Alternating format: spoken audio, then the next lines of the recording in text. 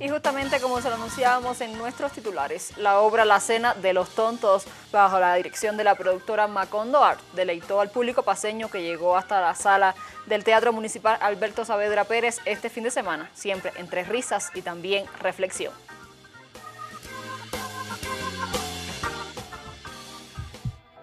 Macondo Art presentó La Cena de los Tontos en el Teatro Municipal Alberto Saavedra Pérez dos presentaciones sobre las tablas que hicieron gala con sus actuaciones. Bueno, es una comedia, es una comedia clásica francesa eh, que se estrenó inicialmente en los años 90 en Francia. Y bueno, junto a Luigi Antesani y Gori Patiño, inicialmente teníamos el plan hace años de montar esta obra. Hay un par de películas también que nos encantaron y nos enteramos que eran basadas en una obra de teatro. Entonces, nada, pues después de, muchos años de ver cuándo, cómo, pues este año finalmente hemos podido montarla, hemos traído un director de Argentina para esto y nada, muy contentos, ¿no? Y esta versión ha sido adaptada por Agustín Vázquez y Percy Jiménez a, a nuestro contexto, ¿no? Boliviano, en realidad paseño. Eh, y al tiempo que serían los noventas, ¿no? el tiempo en el que fue, eh, fue hit la obra.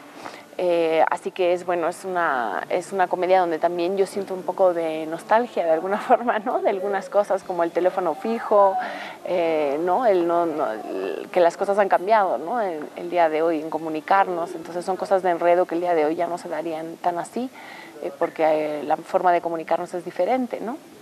Mi esposa me dijo, podrías esto hacerlo tú en teatro. Y me ha, me, ha, parecido una excelente idea, he buscado un poco más y efectivamente había sido, además había sido puesta en Francia también, en principio como una obra de teatro, después fue llevada al cine.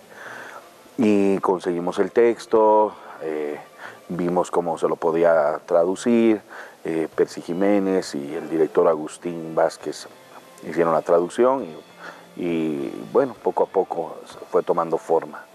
Bajo la dirección de Agustín Vázquez mostraron su talento un elenco increíble. Luigi Antesana, Cristian Mercado, Gori Patiño, Patti García, Michelle Chapek, Pedro Grossman y Leonel Francese.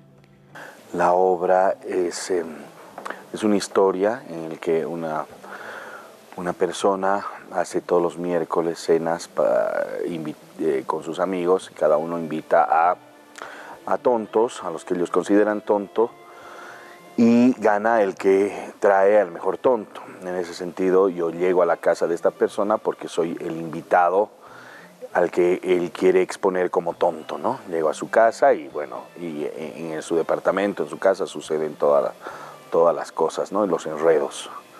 Bueno, a ver, eh, Pedro es, es, un editor de clase alta, eh, tipo un poco maloso se puede decir, que organiza unas cenas en, las cuales hacen un concurso para divertirse a costa del otro, en la que invitan a, quien invita al más sonso, digamos, ¿no? Y gana el que tiene al al sonso más impresionante según ellos, ¿no?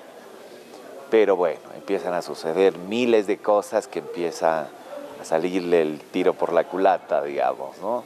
Ah, del protagonista, que es eh, Piñón, eh, que es este, este tonto, ¿no? Invitado a la cena, que es el hombre, que es el hombre honesto, en realidad, ¿no? Es como el bueno, es el que, eh, del cual todos nos reímos, pero por su, por su, en realidad su bondad, y, em, y, el otro, la antítesis, Pedro, que interpreta a Cristian Mercado, el otro es Luigi Antesana y Cristian Mercado. Tras el éxito de Sobre las Tablas, fueron confirmados dos nuevas fechas para su presentación, 2 y 3 de junio en el Teatro Nuna.